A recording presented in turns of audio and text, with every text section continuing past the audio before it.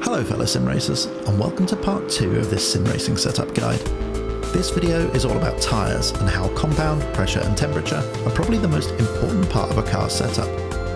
If you've not seen the first part of the series, then a link to a playlist containing all of my setup videos should be in the top right hand corner of your screen.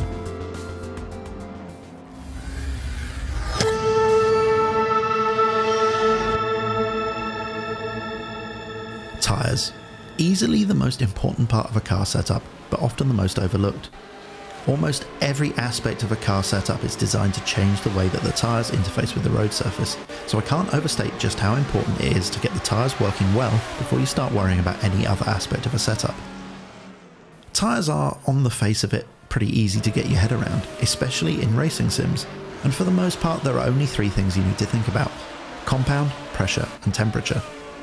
Compound is a way of describing the chemical composition of the tyre, but from a driving perspective is often just used as a word to describe how soft or hard the tyre is, while temperature and pressure are interlinked and both play a significant role in getting the maximum amount of grip out of the tyre. Before we get into the detail, here's one massive caveat. The way that tyres are modelled by sim racing developers varies massively between sims, so the tyres in any given sim, or indeed different versions of the same sim, may behave very differently. Some sims are incredibly sensitive to tyre settings, while others have a very wide operating range, and it doesn't seem to matter all that much what your settings are. So the following opinion on various aspects of tyre setup is fairly general, and is based to some extent on real world best practice. In my experience, it works in all of the sims, but the degree to which it matters very much varies from sim to sim. Let's start off by looking at pressures. As I mentioned earlier, tyre pressures and temperature are interrelated, and both have an impact on the amount of grip the tyre generates. A pneumatic tyre can be inflated to varying degrees to provide different characteristics, and a tyre inflated to a higher pressure will have stiffer sidewalls, providing a more responsive feel, but potentially at the cost of grip. Similarly, a tyre that's inflated to a lower pressure may generate more grip, but will provide more rolling resistance, and generate more heat, but more on that later. Simply put, getting the tyres into the right pressure window is instrumental in extracting all of the available grip from the tyre, as well as preserving tyre life. The key thing to remember here is that changing the pressure in your tyres alters its profile, which consequently changes the amount of rubber in contact with the track. And generally speaking, a bigger contact patch means more grip. So, up to a point, lower tyre pressures provide more grip, but this also generates more heat decreases the tyre life and can impact handling, fuel efficiency and speed due to increased rolling resistance. Like almost every aspect of car setup work, it's all about compromise. In the real world, tyre manufacturers will provide a spec outlining the ideal pressure window for the tyres, and frustratingly, that's not always the case in racing sims. For example, Assetto Corsa uses a hidden lookup table of ideal temperatures and pressures, and that should really be something that you can see in the user interface. Thankfully, members of the community have made this available and I've put a link in the video description. Tyre pressures are impacted by temperature. So when we're talking about tyre pressures, we're really talking about the air pressure in the tyres when they're at racing temperature, or hot temperatures for short.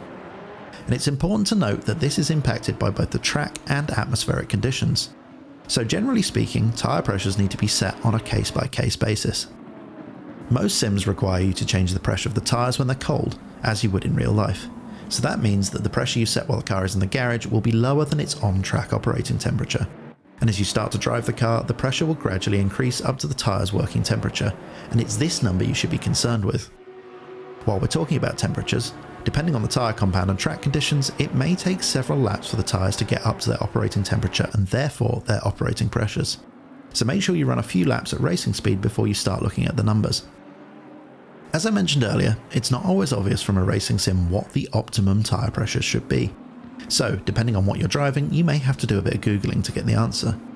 But this optimum tyre pressure really should only be taken as a starting point. You may find that running 1 to 2 psi lower than the supposed golden number provides faster lap times, and as with everything, experimentation is the key. Moreover, since tyre pressures have a direct impact on handling and critically on feel, you may find that you're more comfortable with a car running slightly softer or harder pressures than what the data says is optimum. For what it's worth, my approach is to try and run the lowest tyre pressures I can get away with, though it doesn't always work out that way. Something else that's worth considering is that you don't necessarily have to run the same tyre pressures in all four wheels. and this is one of the tools you can use to alter the balance of the car. For example, you may try to decrease the pressures in the front tyres to try and dial out some understeer in the car. This is something that's particularly useful mid-race where changing the tyre pressures at your pit stop may be the only tool you have at your disposal to alter the way the car handles. As a final note, most racing sims provide live tyre data as a form of UI overlay or app, as well as data back in the garage that will tell you your hot and cold pressures. So thankfully it's pretty straightforward to look at the data and make informed corrections. As with pressures, tyres have an ideal temperature range in which they provide the most grip. And driving with tyres outside of this operating window will not only produce slower lap times, but also usually decrease the life of the tyre. So, keeping tyres in the right operating window is an important part of racing, both from the perspective of setup and driving style. The latter is beyond the scope of this series, but when it comes to setup, there are a few things we can tweak to keep the tyres at the right temperature. The most common is adjusting the tyre pressures, but you can also adjust the toe and camber angles of the wheels, which we'll discuss in the next video. Tyre temperatures are heavily impacted by track and atmospheric conditions. On a cold track, you may find it difficult to get your desired compound of tyres into the right temperature window, while on a hot track, you run the risk of overheating the rubber. So, as with pressures, temperatures need to be monitored on a case by case basis, and there's no one size fits all setting. Heat across the surface of a tyre is rarely even, and generally speaking, the inside edge will run a little hotter than the outside. As such, readings are taken on the inside edge, middle, and outside edge of the tyres, often referred to as IMO. Depending on the car and tyre type, it's not uncommon to see a disparity of up to plus or minus 5 degrees from the middle temperature, and that's not really a problem. However, if the difference is greater, then you may have other setup issues, which we'll talk about in later videos.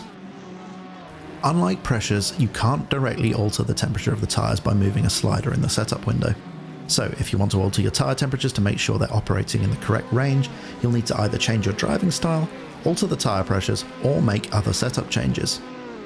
Altering your driving style may work in some situations, but it's not ideal, so the best place to start is with tyre pressures. As I mentioned earlier in the video, pressure has a big influence on tyre temperature. Lowering the pressures will generate more heat, and conversely, raising them will generate less. So, finding the right balance between tyre pressures and temperature range is pretty much all there is to it.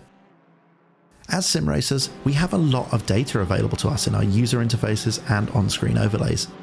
And it's pretty uncommon to see a driving game that doesn't include a live readout of your tyre temperatures, including the breakdown of the inside, middle and outside temperatures. Thankfully, they've all standardized on using an intuitive color temperature system as well.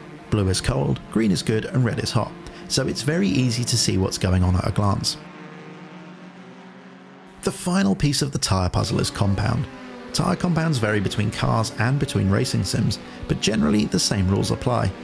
At its most basic, softer compounds provide more grip but wear out much faster than harder tyres, while harder tyres are slower but will last longer. The hardness of a tyre also has an impact on tyre temperatures, and generally speaking, harder tyres take longer to warm up than softer compounds and vice versa. You may find it impossible to keep soft tyres cool on a very hot track or heat up hard tyres in the depths of winter. So choosing the correct compound is a compromise between grip, range and track conditions. Ultimately, you're looking to choose the compound that will produce the quickest time over the duration of the stint that you're running.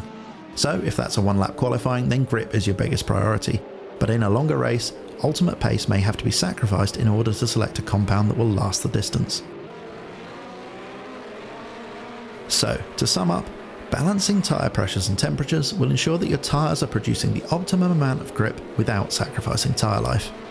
And selecting the correct compound for the track conditions and session format is the key to going as fast as possible over a given period of time. In the next video, we're going to talk about toe, camber and caster angles and the impact they have on the handling and stability of the car, as well as how they affect tyre temperature. I hope you enjoyed the video. If you did, then it would be great if you could hit the like button and subscribe to my channel. And if you think the video will be helpful for others, then please consider sharing it. As always, thank you for donating your precious free time by watching. It is very much appreciated. So all that's left to say is goodbye, thank you for watching, and enjoy the rest of your day.